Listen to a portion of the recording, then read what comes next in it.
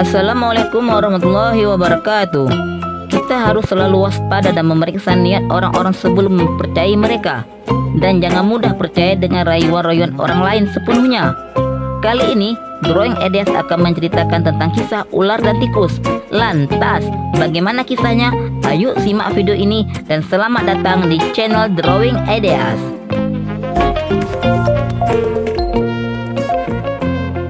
Dahulu kala, hiduplah seekor ular yang sangat licik dan kejam. Ia sering mencuri makanan dari para hewan-hewan lain dan bahkan sering memangsa hewan-hewan yang lemah daripadanya. Suatu hari, ular tersebut bertemu dengan tikus yang sangat lemah. Ular itu berpura-pura sebagai teman dan mengatakan bahwa ia ingin membantu tikus untuk mendapatkan makanan.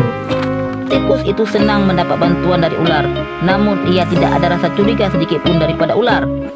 Tetapi sebenarnya ular ingin melakukan rencana jahat yang sudah diatur dengan baik. Ia memberikan makanan yang dicampur dengan racun yang sangat mematikan. Setelah mengonsumsi makanan itu, tikus itu pun mati.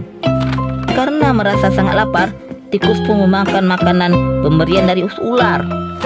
Tikus tersebut terkejut dan merasa dikhianati oleh si ular yang sebelumnya telah berpura-pura menjadi baik hati.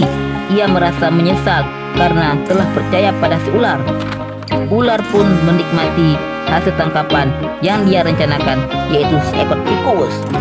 Sekian cerita yang dapat Drawing Ada sampaikan dan itulah kisah ular dan tikus. Terima kasih telah menyaksikan video ini. Jangan lupa like dan subscribe ya.